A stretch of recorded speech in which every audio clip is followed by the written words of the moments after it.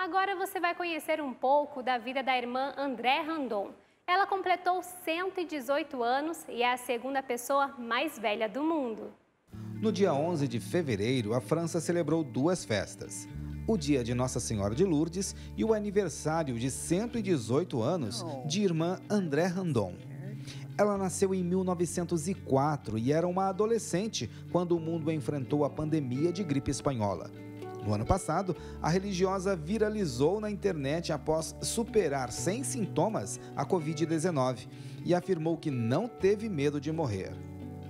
De acordo com um grupo de pesquisa em gerontologia, a religiosa da Congregação das Filhas da Caridade é a pessoa mais velha da Europa e a segunda mais velha do mundo e está feliz por viver tanto.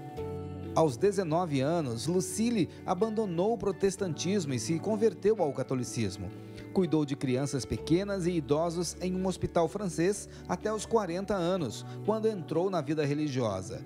Irmã André, como é conhecida, mora hoje em Toulon, no sul da França, na casa de repouso Santa Catarina Labouré.